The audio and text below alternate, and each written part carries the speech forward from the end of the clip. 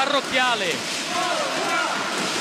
L'attacco, il muro, il muro di Conegliano, Conegliano è campione d'Italia per la quinta volta nella sua storia. Conegliano vince lo scudetto 2022.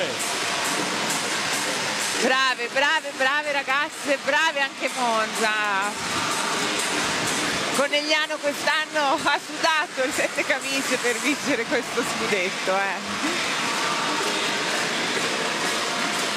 La gioia per le pantere della Prosecco Dochi Moco Volley è il quinto scudetto per la società di Garbellotto e di Maschio.